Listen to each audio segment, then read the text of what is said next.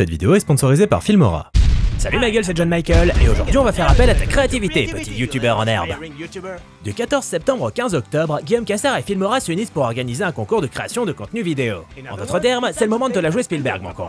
Crée une vidéo originale et monte-la avec Filmora. Filmora, c'est un logiciel de montage à la fois complet et accessible, idéal autant pour les connaisseurs que pour les néophytes. Filmora prend en charge le montage multipiste, les textes, une tonne de transitions et d'effets divers, des filtres pour donner un look cinéma à tes vidéos, et le logiciel peut même gérer les fonds verts en un simple clic. Tu vas pouvoir créer quelque chose d'extraordinaire, j'en doute pas. Clique sur le lien dans la description pour essayer Filmora gratuitement pendant 7 jours. Du coup, tu vas faire quoi? Un court métrage humoristique? Un clip? Ou la critique de ton film préféré comme le fait ton idole? Ta seule limite sera ta créativité. T'acceptes le challenge? Et qui dit concours dit récompense. Et comme chez Filmora ils sont du genre généreux, il y a de nombreux prix incroyables à gagner. Un DJI Pocket 2 validé par Guillaume lui-même, une caméra miniature type GoPro pour te filmer dans les situations les plus extrêmes, et même un appareil photo instantané Fujifilm pour immortaliser tes soirées entre amis. Et en plus de ça, Guillaume repostera deux des meilleures vidéos dans son onglet communauté. Clairement l'opportunité d'une vie. Pour participer, rien de plus simple. Monte ta vidéo YouTube avec Filmora et poste-la sur ta chaîne avec les hashtags Filmora for YouTuber et Guillaume Cassar Filmora dans la description. Et pour finir, clique sur le lien dans la description de cette vidéo pour envoyer ta création à Filmora. J'ai hâte de voir ton chef-d'œuvre. Bonne chance, ma gueule.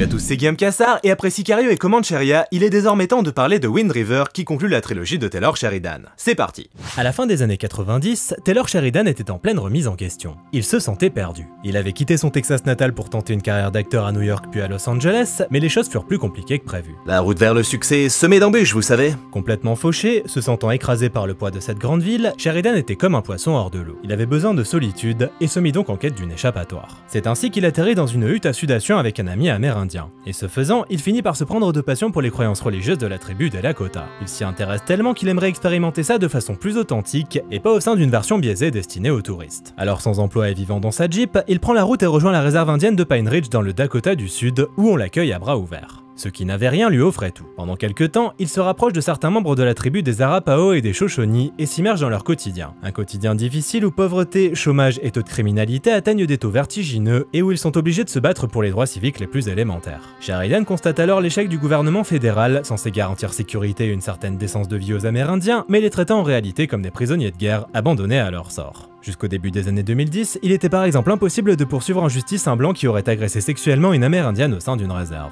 Dans les villes voisines, la plupart des commerces refusaient carrément de servir les Indiens, et certains bars affichaient même fièrement des pancartes sur lesquelles était marqué interdit aux chiens et aux Indiens. Et Sheridan fit lui-même l'expérience de ce racisme lorsqu'on lui demanda de quitter une station essence sur le champ à cause de ses liens avec les Indiens. La bonne ambiance. Et puis un jour, ses amis amérindiens connaissant ses ambitions hollywoodiennes, ils finissent par lui faire une demande particulière. Ils lui demandent de raconter leur histoire, leur vraie histoire, et ce sans prendre de gants, mais au contraire en insistant sur les pires aspects de leur quotidien pour espérer apporter de la lumière sur leurs conditions de vie et pourquoi pas faire changer les choses. Et cette demande, Sheridan ne l'oublia jamais. Ainsi, au début des années 2010, lorsqu'il se lance en tant que scénariste, il repense à cette promesse et se dit qu'il est désormais temps de l'honorer. Alors qu'il vient d'achever l'écriture de Sicario, il s'apprête à plancher sur ce projet, mais Comancheria s'impose à lui, l'obligeant à remettre cette histoire à plus tard. Ainsi, littéralement un jour après avoir mis le point final à Comancheria, Sheridan se lance immédiatement dans la rédaction de ce troisième script, Wind River. Et alors qu'il réfléchit à ce qui constituera le fil conducteur de son histoire, Sheridan se remémore un drame qui était arrivé au sein de la réserve à l'époque où il s'y était installé. Une jeune fille avait disparu et fut retrouvée morte au bout de quelques jours. Une véritable tragédie pour tous les habitants de la réserve, la jeune fille avait en effet un bel avenir devant elle, étant censée partir faire ses études à peine quelques semaines plus tard. Ce sera donc le sujet de ce script. Partant d'un contexte similaire, il s'agira d'une enquête au sein de la réserve indienne de Wind River pour découvrir ce qui est arrivé à une jeune amérindienne retrouvée morte dans la neige. Et si cette histoire tournera principalement autour des conditions de vie des natifs américains,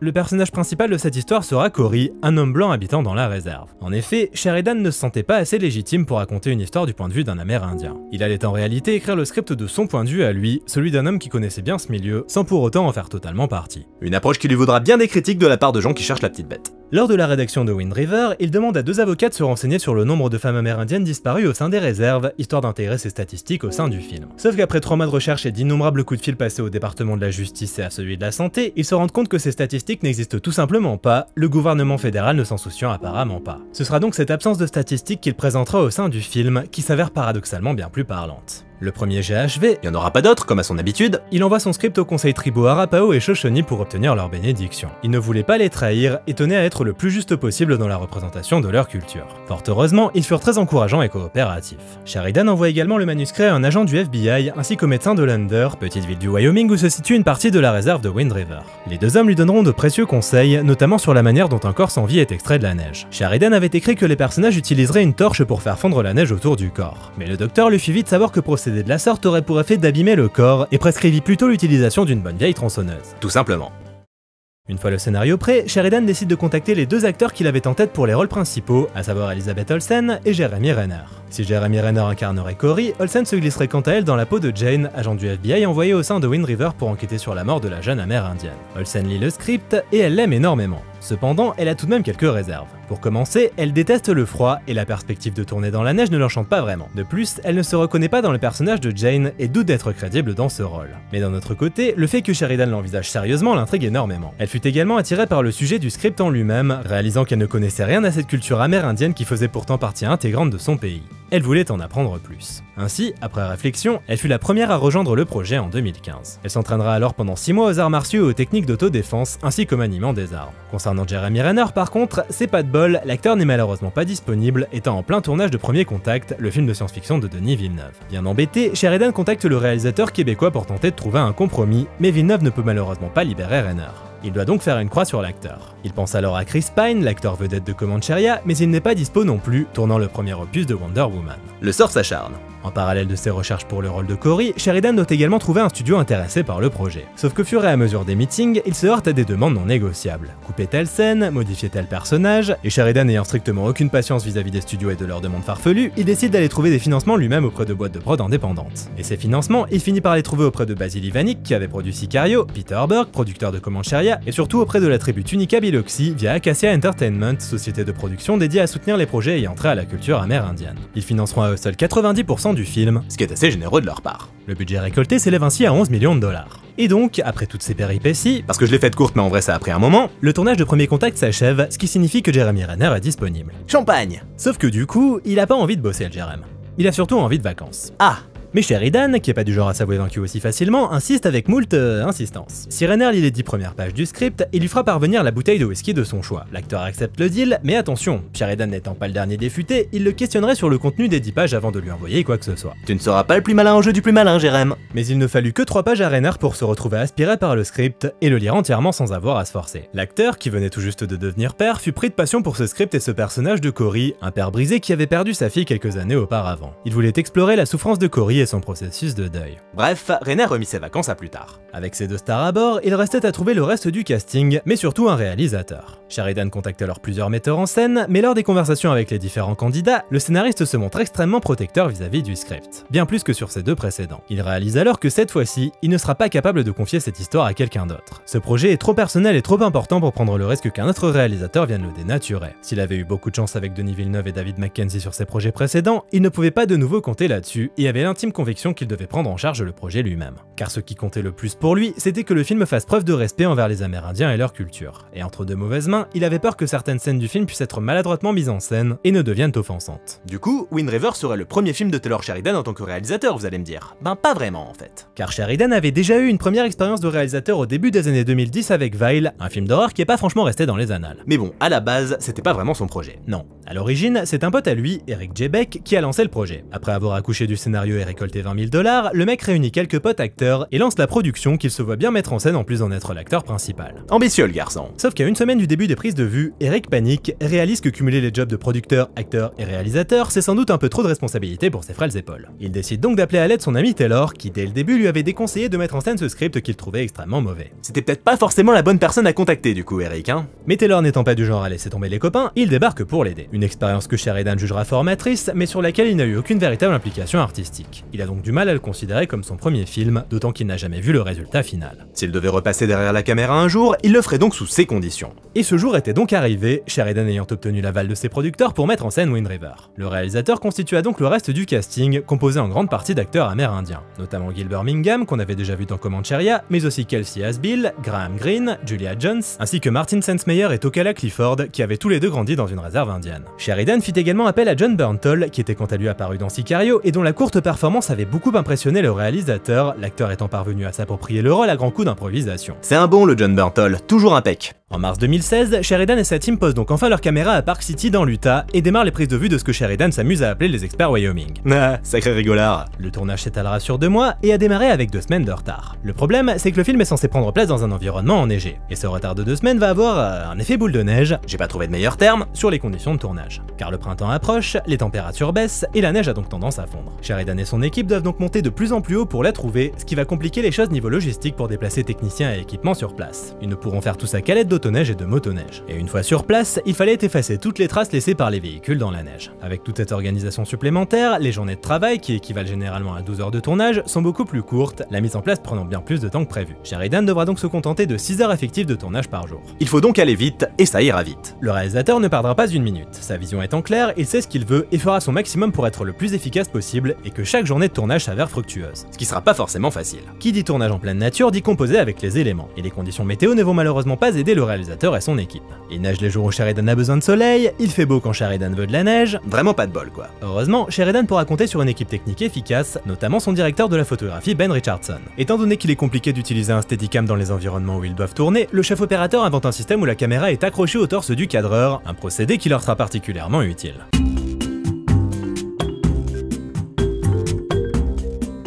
On l'a vu, sur le tournage de Wind River, Sheridan fit appel à de nombreux Amérindiens. Parmi eux, Athi Sam, embauchée comme figurante. Sauf qu'à force d'échanges avec Sheridan, ce dernier finit par lui offrir le rôle d'Annie, la mère de la jeune fille retrouvée morte. Elle avait beau n'avoir aucune connaissance du métier d'acteur, ses expériences de vie allaient l'aider à offrir une performance authentique que Sheridan trouva sensationnelle et bouleversante. Et concernant les conditions météo difficiles, c'est exactement ce que redoutait Elisabeth Olsen. Ouais, le froid c'est pas son truc, Alizzy. Elle ne se pensait pas capable de tourner à l'altitude requise, ayant peur de ne pas supporter ces températures extrêmes. Pour la rassurer, Sheridan décida donc de lui mentir, Chacun ses méthodes. et prétendit qu'à cette période d'entre deux saisons, il ferait extrêmement bon et que les gens avaient même pour habitude d'y skier en maillot de bain. Bref, ce serait un véritable plaisir d'y tourner et, emmitouflé dans plusieurs couches de vêtements, elle aurait même rapidement chaud. Mensonge, calomnie, fumisterie, tromperie, galéjade. Olsen devra donc s'y faire parce que bon bah pas le choix hein, mais ces conditions difficiles auront cependant pour côté positif de faciliter l'immersion des acteurs qui n'auront pas grand mal à imaginer les difficultés posées par cet environnement, les obstacles étant bel et bien présents. L'actrice souffrira cependant de photokératite, également appelée cécité des neiges, à cause de la lumière du soleil reflétée par la neige. Chose qu'elle aurait pu éviter en portant des lunettes de soleil. Malgré tout, la coopération avec ces deux acteurs principaux se passe très bien, ces derniers ayant entièrement confiance en leur réalisateur, ne lui faisant jamais ressentir le fait qu'il ne soit qu'un débutant avec peu d'expérience dans la mise en scène. Olsen est même impressionné par sa maîtrise et son assurance. Ceci dit, le réalisateur est très ouvert à la collaboration. S'ils veulent changer une réplique pour s'approprier le texte, ils sont libres de le faire. Et Renner et Olsen se connaissant bien grâce à leurs aventures super-héroïques chez les studios Marvel, les deux acteurs ont une bonne complicité qui les aidera à garder le moral au beau fixe malgré les difficultés rencontrées. Et ce sera d'ailleurs pas trop pour Jeremy Renner, car certaines journées sont difficiles. Le personnage de Corey vivant en effet des épreuves particulièrement dures qui finissent par atteindre l'acteur. Le problème étant qu'il doit tout intérioriser, car Corey fonctionne comme ça. Si Renner irait parfois jusqu'à s'effondrer pour pleurer un bon coup, il ne veut pas se le permettre.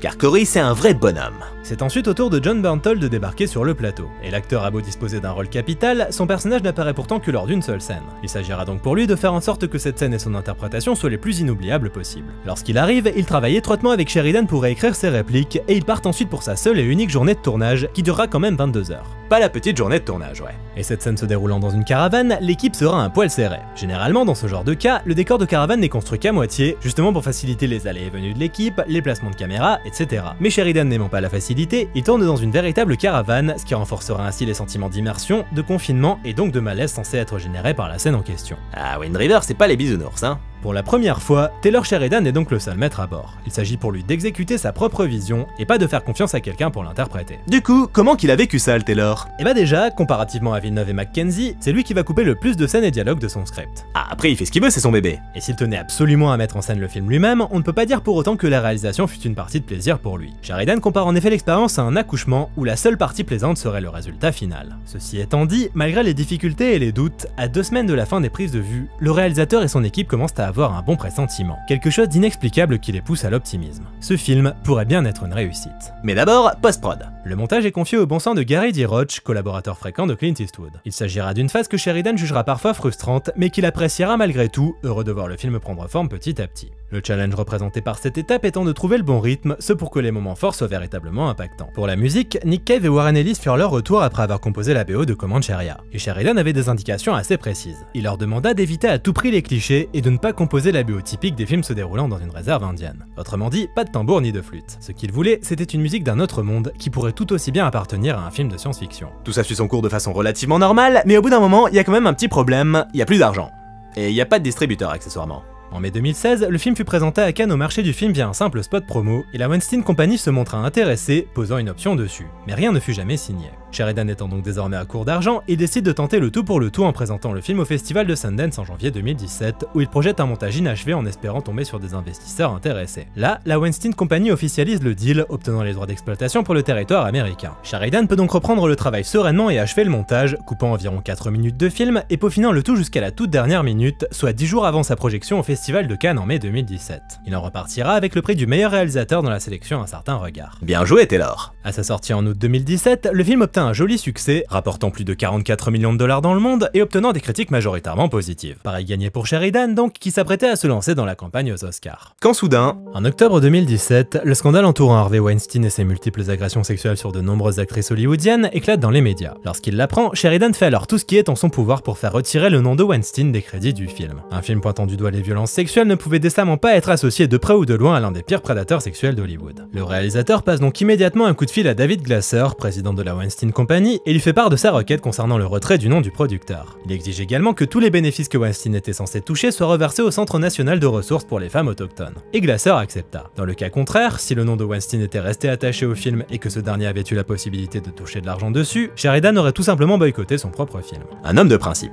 Sans Weinstein à bord, c'est donc Olsen, Renner, Basil Ivanik et la tribu Tunica Biloxi qui financèrent la campagne aux Oscars de Wind River. Mais ce fut malheureusement peine perdue et le film n'obtint aucune nomination. De plus, deux ans après les faits, le Centre national de ressources pour les femmes autochtones n'avait toujours pas reçu l'argent qui lui était dû. En effet, lorsque la Weinstein Company déclara faillite en février 2018, cela la libéra de ses obligations, et notamment celles concernant les profits liés à Wind River. Et lorsque la société Lantern Entertainment acquit les actifs financiers de l'entreprise, strictement rien ne l'obligeait à s'acquitter de cette dette. Et le centre eut beau contacter le studio à plusieurs reprises, il n'obtint qu'un silence radio de sa part. Merci pour rien les gars. Lorsque la jeune Nathalie, amérindienne de 18 ans, est retrouvée morte dans la neige dans la réserve indienne de Wind River, le FBI envoie Jen Banner sur les lieux pour enquêter sur les circonstances entourant son décès. Inexpérimentée, elle bénéficiera de l'aide de Corey Lambert, chasseur de la réserve, lui-même traumatisé par la mort de sa fille quelques années auparavant dans des conditions similaires. Isolée, ne pouvant compter sur personne et étant soumis à une nature toute puissante, Jen et Corey vont tâcher de retrouver l'homme qui a violé et provoqué la mort de Nathalie. Et c'est bien évidemment validé. Wind River se pose donc comme la conclusion de la trilogie de la frontière américaine moderne. Après Sicario qui explorait les dérives sécuritaires du système américain et Comancheria qui mettait au premier plan le facteur économique et les conséquences de la récession, Wind River est quant à lui basé sur la culture amérindienne et la façon dont cette minorité est tout simplement abandonnée à son sort par un système qui ne se soucie pas d'elle. On le sait, Sheridan aime mettre en avant les laissés pour compte et faire la lumière sur des situations souvent ignorées par les médias. Il s'agissait là des principaux moteurs l'ayant poussé à écrire Comancheria et Sicario. Ces films, ce sont autant des témoignages que des œuvres de fiction au final. Et avec Wind River, enfonce le clou, nous offrant un film particulièrement dur où la frontière entre témoignage et fiction est extrêmement ténue. Pour son premier film en tant que metteur en scène, Ouais, on va faire comme si il n'existait pas, hein. Sheridan ne cherche pas à jouer les virtuoses de la caméra, adoptant un style qui serait de toute façon hors de propos. Non, on ressent à chaque instant cette volonté de montrer les choses telles qu'elles se passent réellement, et ce grâce à une esthétique naturaliste. Réalisme et authenticité sont les maîtres mots guidant chacune de ses décisions de metteur en scène. On se trouve donc face à un premier film bluffant de maîtrise. Dès la première minute, face à la silhouette solitaire de Nathalie dans cette étendue enneigée, la sensation d'isolement est prégnante et ne nous quittera pas tout au long du métrage. Car l'isolement, c'est bien ce qui caractérise le mieux les conditions de vie des Amérindiens au sein des réserves. Pour le souligner, le réalisateur privilégiera ainsi les grands angles, mettant justement en valeur la petitesse des personnages dans les vastes paysages du Wyoming. Les paysages et la nature sont d'ailleurs des éléments essentiels pour Sheridan, qui participe énormément à l'immersion. Le réalisateur souhaitant que le public se sente connecté à ce monde, il composera parfois ses plans avec un tiers seulement occupé par les acteurs, les deux tiers restants étant dédiés au paysage. L'intention est claire, souligner la rudesse de la nature. Dans Wind River, si les hommes sont en danger, c'est bel et bien cette dernière qui finit toujours par avoir le dernier mot. Ne te moque pas de la nature, car si tu te moques de la nature, sache qu'un jour la nature, elle, finira par se moquer de toi, car tu t'es moqué d'elle trop long.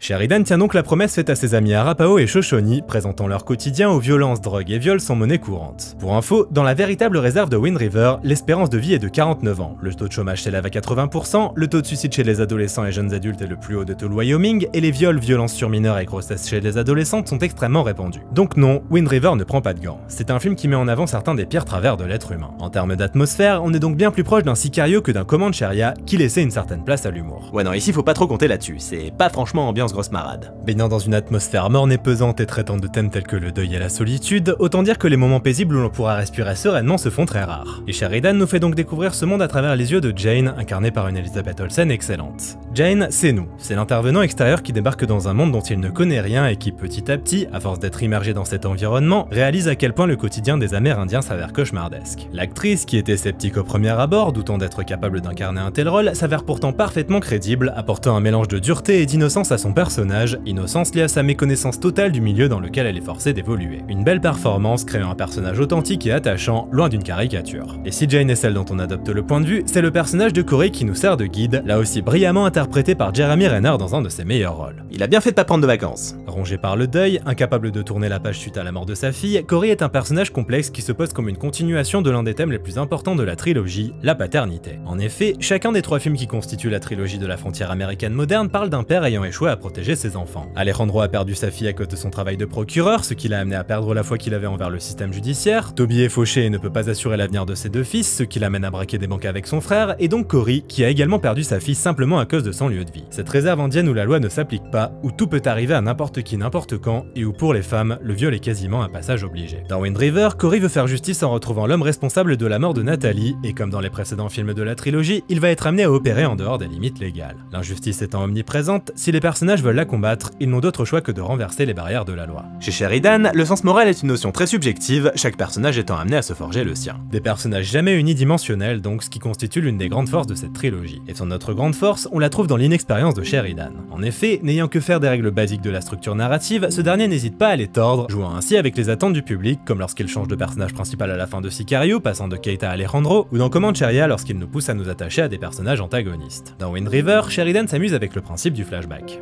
Flashback, c'est un procédé narratif qui consiste à... Non, je déconne, vous savez tous exactement ce que c'est. Par contre attention, je m'apprête à spoiler comme un gros bâtard. Si vous avez pas vu le film, rendez-vous un peu plus loin. Ce flashback, il a déjà pour particularité de débarquer de façon complètement impromptue. Il nous coupe en plein élan, au milieu d'une scène capitale, ce qui avait d'ailleurs déplu à certains studios qui avaient par conséquent demandé à Sheridan de se débarrasser de la séquence. Tu m'étonnes qu'il les a envoyés chier. Mais surtout, ce flashback, il vient nous offrir la vérité. Celui qui était le suspect numéro 1 prenant finalement des allures de héros tragique. Un rôle pas évident tenu par un John Burntle toujours aussi impliqué qui a parfaitement accompli sa mission. Car si le personnage n'a droit qu'à quelques minutes à l'écran, il laisse pourtant une impression durable. Comme toute cette scène d'ailleurs qui démarre dans le calme et la douceur avant que la tension ne monte crescendo jusqu'à exploser. Anxiogène, brutale et réaliste, la séquence montre à quel point une situation peut dégénérer rapidement et particulièrement dans ces endroits coupés du monde où la notion de sécurité est toute relative. Avec Wind River, Sheridan aura donc accompli sa mission, offrant un témoignage saisissant sur le quotidien de cette minorité livrée à elle-même. Le film profite ainsi d'une mise en scène inspirée et d'un casting irréprochable. Mention spéciale à un Gil Birmingham bouleversant. Loin du thriller sans âme, Wind River dispose donc d'une âme conférée par des personnages bien écrits et complexes. Une qualité bienvenue, l'atmosphère générale se montrant assez tendue. En même temps, vu le sujet traité, c'était chaud de faire une comédie. Ne ménageant pas son public, Sheridan cherche au contraire à provoquer une prise de conscience collective, alertant les spectateurs sur l'injustice de la situation subie par les peuples amérindiens. Un film coup de poing qui porte bien la patte d'un auteur ne tombant jamais dans la facilité. En seulement trois films, Sheridan s'est donc imposé comme l'un des meilleurs scénaristes américains contemporains, passant du statut d'acteur de seconde zone à celui d'auteur de premier plan respecté par le public et la profession. La trilogie de la frontière américaine moderne est donc une superbe réussite, offrant un regard sombre et lucide sur une Amérique tourmentée, loin d'être en paix avec elle-même. Trois films qui ne se contentent pas de simplement divertir, mais qui, au contraire, poussent à la réflexion sur des thèmes de société capitaux. Comme le dit Sheridan lui-même, mon travail ne consiste pas à donner des réponses, mais à poser des questions. Tout est dit. Merci à tous d'avoir regardé cette rétrospective, j'espère qu'elle vous a plu, n'hésitez pas à commenter, liker, partager, vous abonner, venir me soutenir sur Utip ou Tipeee si vous vous sentez généreux, et je vous dis à bientôt Salut